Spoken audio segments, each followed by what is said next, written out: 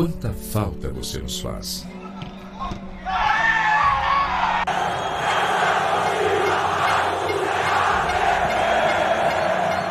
Os cantos, a vibração, as amizades, os gritos de gol.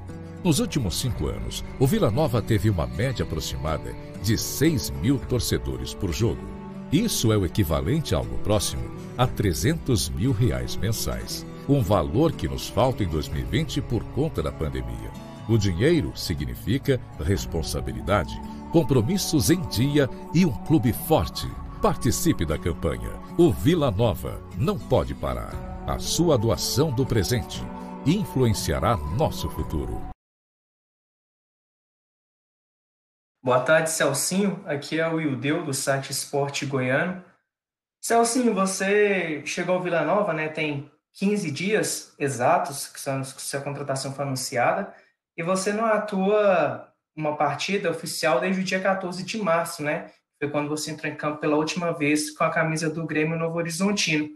Inclusive, no último sábado, na coletiva pós-jogo, o Bolívar elogiou sua forma física e a partir disso eu gostaria de saber de você. O Celcinho está preparado para poder ajudar o Vila Nova no próximo final de semana? É, boa tarde. É, feliz né, em estar tá vestindo a camisa do Vila Nova, é, numa competição que, que eu já disputei. Graças a Deus fui feliz com acesso e título. É, espero que possa ser feliz aqui com a camisa do Vila também e ajudar o Vila Nova a, a retornar à Série B do Campeonato Brasileiro. É, 15 dias treinando, é, trabalhando a parte física, né? Como você mesmo frisou, desde o dia 14 de março, que não venho atuando.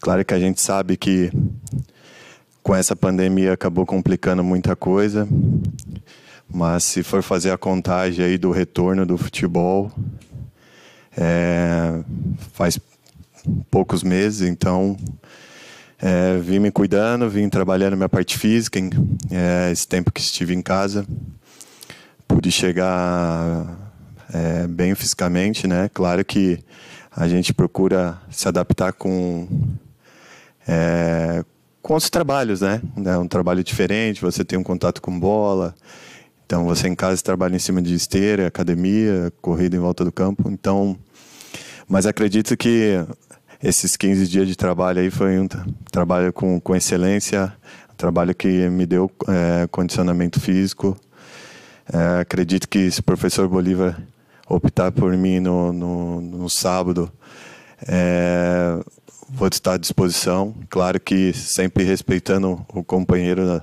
é, que está de titular, né?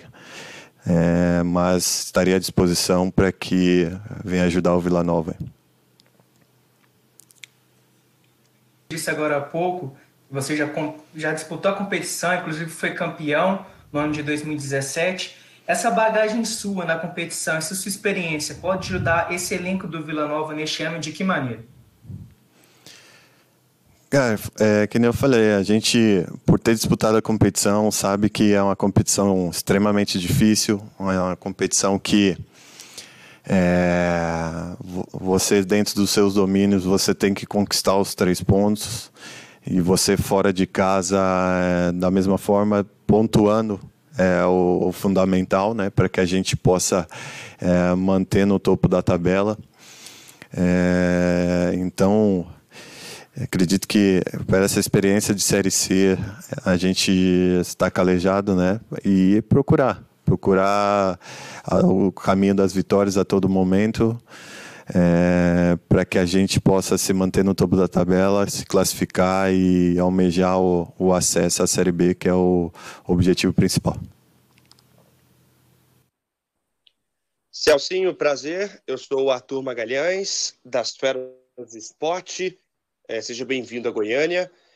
Aqui olhando o teu currículo, várias equipes que é, são é, do mesmo tamanho do Vila, ou estão atualmente do mesmo tamanho do Vila Nova, apesar de nesse ano estarem talvez até em divisão diferente, passou por clubes é, do, de médio porte do futebol nacional, mas é, geralmente estão todos ali na Série B do Campeonato Brasileiro. Eu queria saber de você se o Vila Nova, nesse ano na Série C, é um dos grandes. Você já tem experiência demais nesse campeonato e pensa que o Vila Nova, é, no ano que vem, vai figurar na Série B do Campeonato Brasileiro? Você apontaria alguma outra equipe nesse momento que é, bate de frente com o Tigrão e também é, pode estar já é, na Série B do ano que vem? É, boa tarde. É, tem várias equipes qualificadas que, que podem sim buscar o acesso, mas o Vila Nova, é, pela tua grandeza, pelo, pela torcida apaixonada que tem, é, pelos objetivos que, que o clube traçou de uns anos para cá de tentar buscar a Série A do Campeonato Brasileiro, é, não, não pode estar na numa situação que está hoje, né?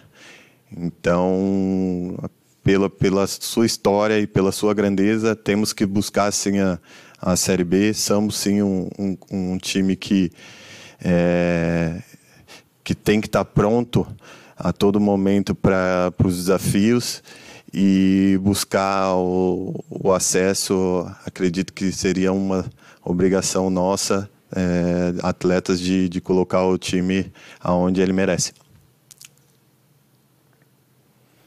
Celcinho, é, nós temos o John na lateral direita, o Vila Nova é, mais jogadores para a posição, mas um detalhe, muitos falam que o Celcinho chegou para ser titular no Vila Nova. Menos boa parte da, da crônica esportiva aponta assim. Você concorda com isso? Eu respeito, eu conheço o John de, de trabalhar juntos né, no CSA em 2018. É um atleta que teve com, com nós lá, é, ajudando com, com títulos né, na, na competição que estávamos disputando. Respeito o profissional que ele é, é, tem suas qualidades. Acredito que essa opção de, de titularidade sair parte do professor Bolívar. Então eu, eu venho para ajudar, para agregar, para somar, né? Junto com meus companheiros e sempre respeitando o atleta que, que hoje está atuando. Celcinho, boa tarde. Paulo Massad, Rádio Sagre 730. Em termos de características, o que que você tem de características que talvez possa se assemelhar com o John Lennon? O que, que você tem de diferente? O que, que suas características podem acrescentar ao time do Vila, Celcinho? Boa tarde. É, boa tarde. É... Claro que a gente, dentro do modelo que, que o professor Bolívar costuma trabalhar, a gente procura executar né, da melhor forma, tanto na parte defensiva quanto, quanto na parte ofensiva. Então, é, é, a pedida dele, ele, ele falou assim, sim, eu quero você na parte ofensiva, eu quero você na parte defensiva. Se tiver que fazer os dois, sem problema nenhum também. É, quem, vocês que acompanham o, o, o, esporte já devem ter me visto jogar em outros clubes. É, com a característica que um professor me pede, eu procuro executar. Então, é, se for é, da parte defensiva ou ofensiva, estarei pronto para fazer da melhor forma. Você falou agora há pouco em recolocar o Vila na Série B. Por tudo que você acompanhou até agora nessa competição, nessa Série C, é, a gente fala dentro de campo ali, a gente sabe do tamanho, da força da camisa do Vila, mas tecnicamente, pelo que o Vila vem produzindo e os adversários também, você aponta o Vila como um dos favoritos para subir para a Série B, Celcinho? É, eu, eu acompanhei dois jogos, né? É, eu acompanhei dois jogos, vi que, que o Vila tem uma equipe qualificada, uma equipe bem treinada.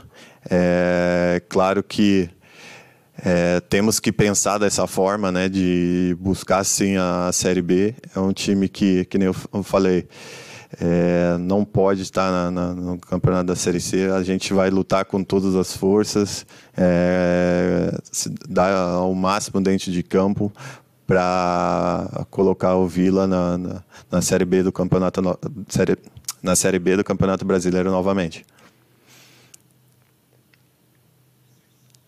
Vamos da Band News. É, você chega ao Vila Nova em um momento que o titular da sua posição vem sendo bem questionado, como mencionado anteriormente pelo Arthur.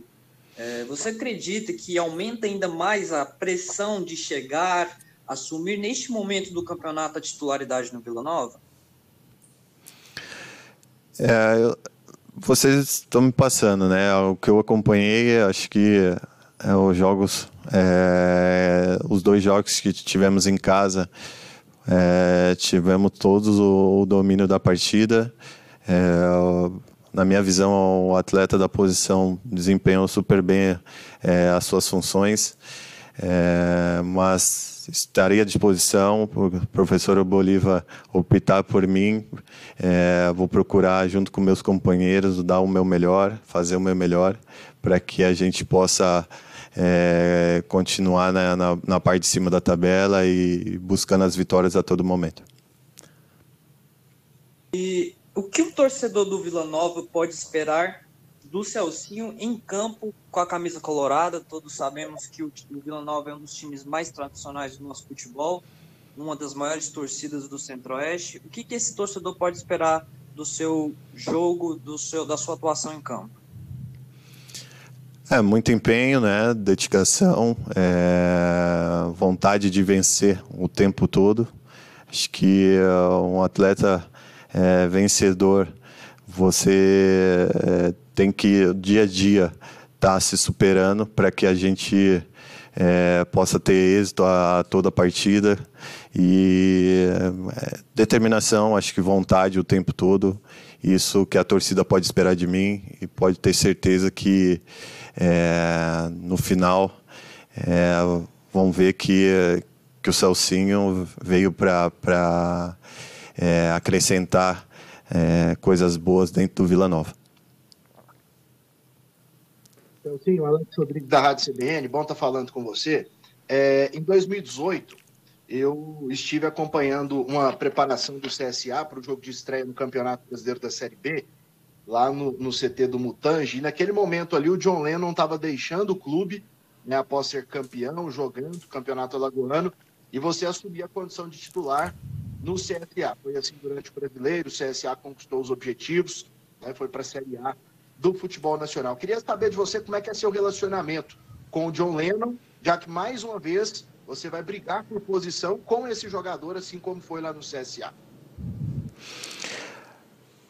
É, nós se damos muito, bem, sabe? Criamos uma amizade muito bacana é, quando estava no CSA. É, o, o John é, fez parte também é, da, daquela conquista, buscando o melhor dele lá, né? E ajudou a equipe do CSA com, com títulos.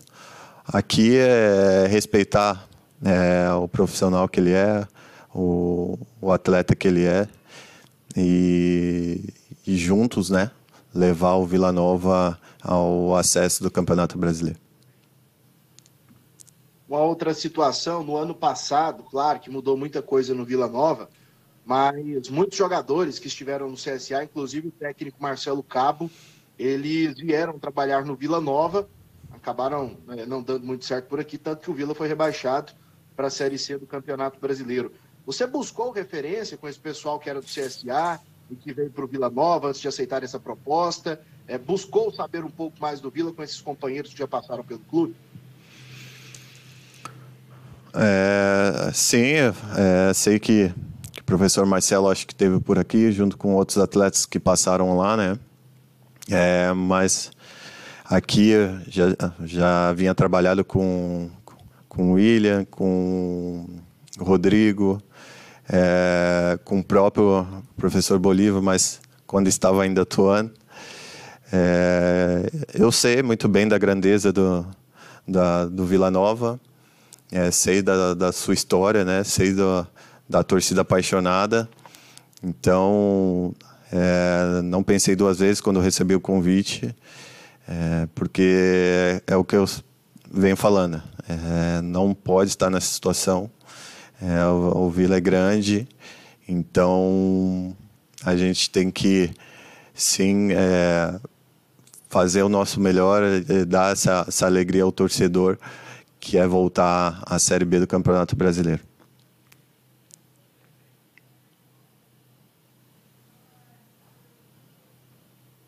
Celcinho, aqui é Jânio do Jornal Popular. É, você disputou uma Série C, foi campeão também AB, quando os jogos é, tinham, tinham, tinham público, né? Hoje a gente já não tem jogos com público conta da, da, da pandemia. Você diria que, que essa talvez seja uma das grandes diferenças da competição agora? Quem souber jogar dentro e fora de casa, atacando, marcando, vai levar vantagem, já que não tem fator torcida? Ou você acha que o fator campo, o time jogar no seu campo, leva uma certa vantagem ainda? É, a gente sabe que sem o apoio da, da torcida, é, um, incentivo né, que temos de, de fora para dentro é sempre bem-vindo. A gente fica triste por por estar tá acontecendo tudo isso, mas espero que é, daqui uns dias possa estar se resolvendo tudo, que venha com 30% ou 50% da torcida novamente, porque sabe que é uma torcida que incentiva o tempo todo e isso pesa sim, isso ajuda muito, é, pra, tanto para nós quanto é, dificultando o adversário o tempo todo, vendo a torcida lá fora incentivando os atletas. É, mas é isso que você falou, é, é um, um, campeonato que não, não podemos ter dar chance para margem né, para erros. É, temos que ser efetivo a todo momento, porque a Série C, é, se você olhar os, os resultados, é, são tudo jogos de muito de 1 a 0, 2 é, a 1, 1 a 1, jogos com, com poucos gols, né? Então, é, temos que, que ser efetivo tanto dentro de casa quanto fora de casa para que a gente possa se manter no topo da tabela.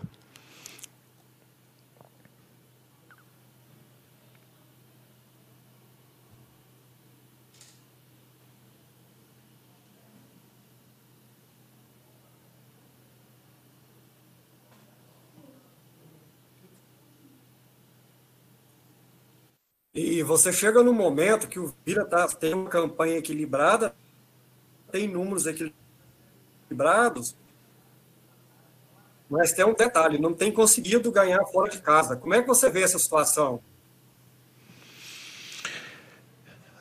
É, é, a gente temos que, que, mudar, né? Essa situação. É, temos que, que pontuar, buscar os três pontos fora de casa. É, porque é um campeonato extremamente difícil, um campeonato que hoje você, se você deixa de vencer, é, o, o, sexto é, acaba pontuando, acaba ultrapassando você. Então, é, fora de casa, a gente tem que mudar essa história. Temos que, que desempenhar é, um bom futebol, ser efetivo, para que a gente possa, tanto dentro de casa quanto fora de casa, é, somar os três pontos e, e se fortalecer, né? Se fortalecer cada vez mais no, no, no campeonato, criar gordura para que a gente possa é, classificar bem, porque a gente sabe que se classificando bem a gente tem as suas vantagens na fase classificatória.